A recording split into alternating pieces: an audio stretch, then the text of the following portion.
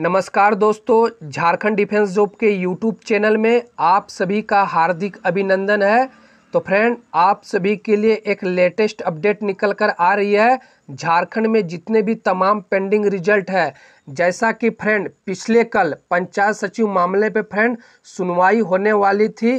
तो दोस्तों, कोर्ट में क्या कुछ हुआ, हम इस वीडियो के माध्यम से आप सभी को सारी जानकारी शेयर करने वाले हैं।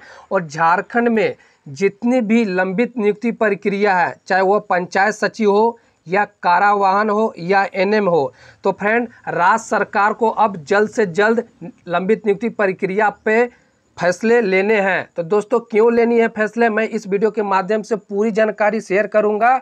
तो आप सभी वीडियो पे बने रहे। इससे पहले चैनल पे अगर आप नए हैं दोस्तों तो चैनल को सब्सक्राइब अवश्य कर ले। पल पल की अपडेट इस चैनल से दी जाती है। तो चलिए तो दोस्तों, आप सभी के लिए हमारे चैनल के द्वारा दोस्तों एक आवश्यक सूचना है।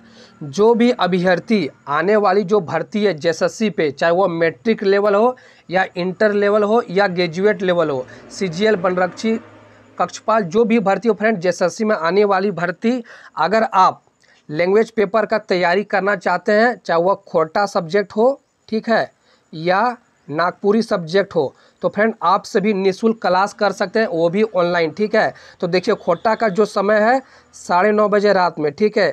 खोटा का, ठीक है? इनमें व्याकरण, साहित्य, सभी प्रश्न रहेंगे और नागपुरी का क्लास आठ बजे रहेंगे, ठीक है फ्रेंड तो क्लास को ज़रूर अटेंड कीजिएगा, ठीक है? जो भी लंबित, जो भी भर्ती आने वाली है, ठीक है दोस्तों? जैसा कि फ्रेंड आप सभी को पता होगा, पिछले कल सुनवाई होने वाली थी, ठीक है?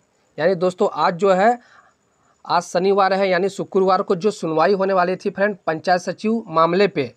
तो दोस्तों, मैं बता दूँ, जैसा कि आप सभी को पता होगा, सतई, सत्ताईस सितंबर को बहस के दौरान जो राज्य के महाधिवक्ता महोदय हैं, कोर्ट को बोला था कि राज्य सरकार दस दिनों में या जल्द से जल्द नियुक्ति संबंधित डिसीज़न लेकर कोर्ट को अवगत कराएगी। और हुआ भी वैसे ही फ्रेंड, ठीक है?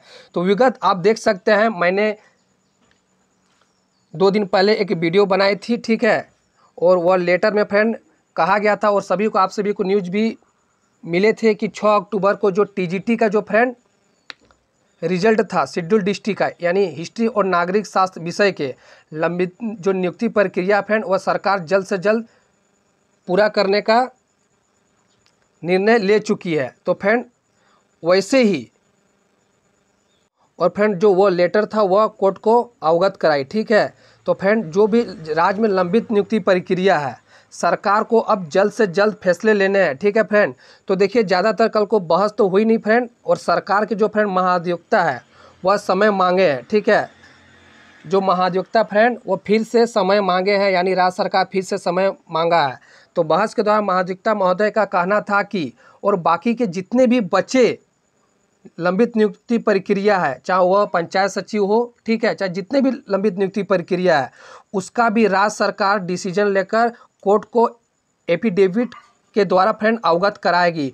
उनके लिए दोस्तों 25 नवंबर तक का समय मांगा है। जी हाँ 25 नवंबर तक का समय मांगा है।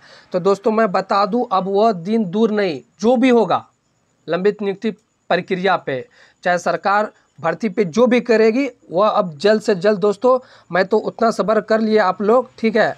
जितने भी अभ्यर्थी हैं तो दोस्तों, अब 25 नवंबर तक आपको सब्र करने होंगे और सरकार जल्द से जल्द फैसले लेने ही है, क्योंकि उनको दोस्तों, कोर्ट में भी डिफिट भी लगाने हैं, ठीक है? तो उनके लिए दोस्तों, बस इतना ही बस हुआ है और उनको मौका भी दिया गया 25 नवंबर तक। देखिए, हो सके इससे पहले भी राज्य सरकार नियुक्ति प्रक्रिया पे जो भी लंबित नियुक्ति प्रक्रिया है, उससे पहले भी डिसीज़न ले ले, ठीक है? तो दोस्तों, आप सभी के लिए यही एक अपडेट थी। वीडियो अच्छी लगी तो लाइक करें, शेयर करें और आप सभी लाइव क्लास में ज़रूर अटेंड कीजिएगा। जो भी इच्छुक अभ्यर्थी आने वाली भर्ती पे, धन्यवाद।